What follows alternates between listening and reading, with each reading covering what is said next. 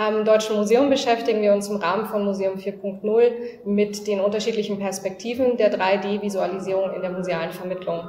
Das bedeutet für uns alles von der 3D-Digitalisierung selbst der Objekte bis hin zu verschiedenen Vermittlungsangeboten, aber auch der Diskussion zu verschiedenen Digital Storytelling-Methoden.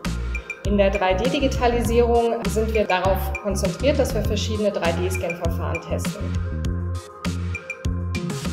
Im 3D-Scan-Labor stellen wir uns Fragen wie, wann macht es Sinn, einen Handscanner zu nutzen, wann nutzen wir besser ein stationäres System oder aber auch, welche Objekte eignen sich für den Scan mit Streifenlichtscan-Verfahren oder aber mit Laserscan-Verfahren.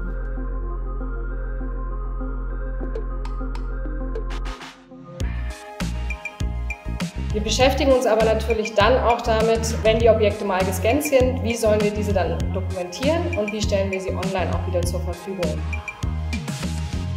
In der Folge ist dann die Frage, wir haben diese 3D-Objekte so schön gescannt und äh, haben sie jetzt in unserer Datenbank, wie nutzen wir sie dann weiter für die Vermittlung im Museumsraum?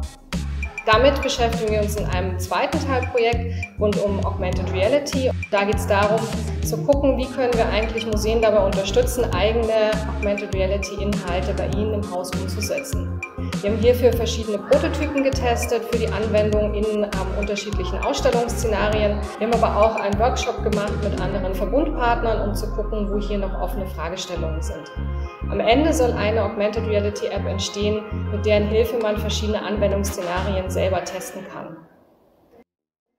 Im Bereich Digital Storytelling haben wir ein Online-Kursprogramm aufgesetzt, beziehungsweise wir führen es fort. Meeting Making ist jetzt in der dritten Staffel und wir beschäftigen uns in diesem Jahr damit herauszufinden, wie eigentlich Online-Ausstellungen koproduktiv auch direkt online entstehen können. Das heißt, es geht darum, wie können Online-Ausstellungen gemeinsam produziert und dabei auch Nachhaltigkeitsthemen mit eingebracht werden.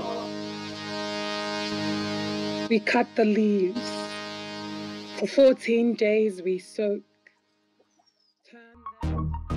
Zusätzlich natürlich passiert ganz viel im VR-Lab, der Ort, an dem wir hier gerade sitzen.